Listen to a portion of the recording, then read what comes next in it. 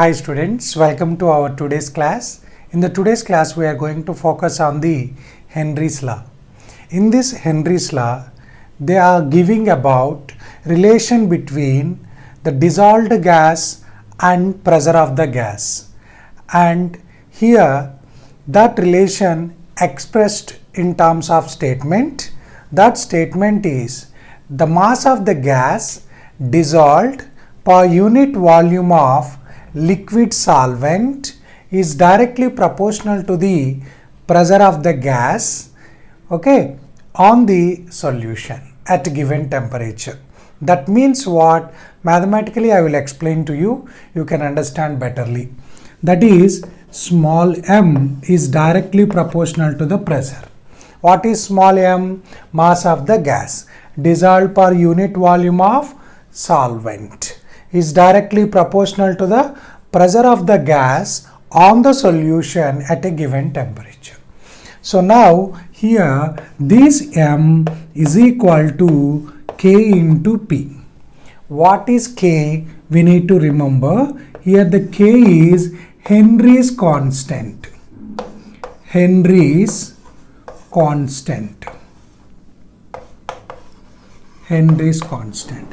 This Henry's constant is depending on the nature of nature of what? Gas.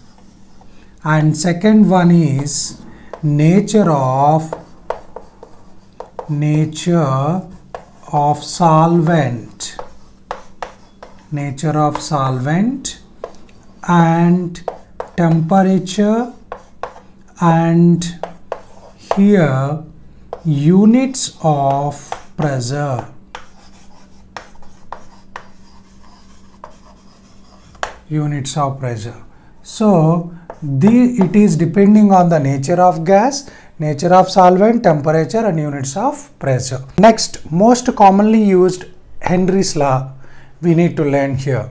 That means here i am taking two or more than two non-reacting gases are brought to contact with liquid solvent here I am taking two gases.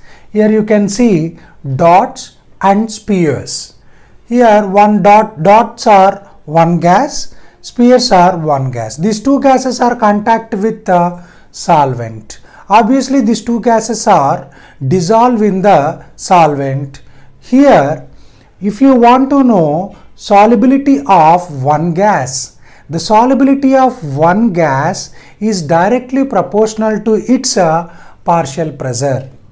Here you need to understand we are talking about what two or more non-reacting gases. In that case, if you want to focus on the solubility of one gas, the solubility is completely depending on the what partial pressure of that gas. Have you got it?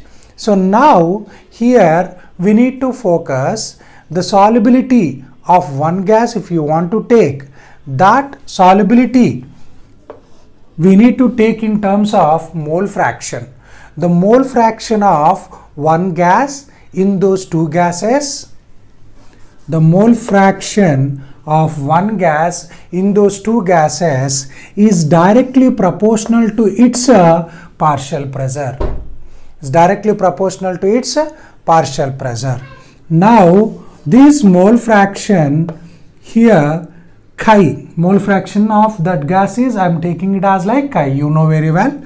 That chi is equal to k dash into p. Now here see this p is equal to p means partial pressure of that gas p is equal to 1 by k dash into chi here we are taking 1 by k is equal to kh. I am taking it as like kh.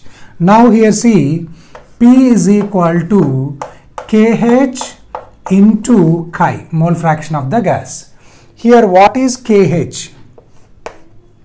Here kh is a Henry's law constant. Henry's law constant Henry's law constant. KH is what? Henry's law constant. Here now the second expression see the partial pressure of the gas is directly proportional to the what?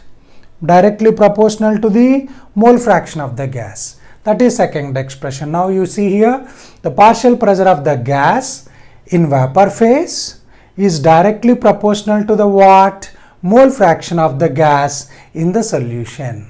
Have you got it? So this is second way of expression. Generally we use this expression uh, in the mixture of gases.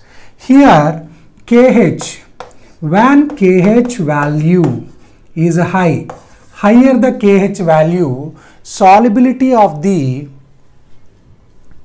gas low. Solubility will be low. If KH value is high, solubility is less. Here, if KH value is less, solubility will be high. So, in the above expression, solubility of the gas is considered as mole fraction of the gas. Okay. So, this mole fraction we consider as like a solubility of the gas. Here see, there are three limitations of Henry's law. First limitation is what temperature. Temperature should not be very low. So, low temperatures, this Henry's law is not applicable. Whereas coming to the pressure, pressure should not be very high. At high pressures, Henry's law should not applicable. I mean, Henry's law is not applicable. Whereas coming to the what gas, gas should not involve in the association or dissociation. So, in these three cases, we should not use this Henry's law. These are three limitations. Applications of Henry's law. There are three applications. Coming to the first application of Henry's law, soda water and soft drinks are filled with CO2 gas. Here, if they want to dissolve the CO2 gas in the soda water and soft drinks, the bottle should be sealed with high pressure which is based on the Henry's law. That is first application. Whereas coming to the second application, that is here the sea divers they have to swim at the depth of the sea. At the depth of the sea, pressure is very high. They carry certain cylinders. Those cylinders are having what oxygen and nitrogen.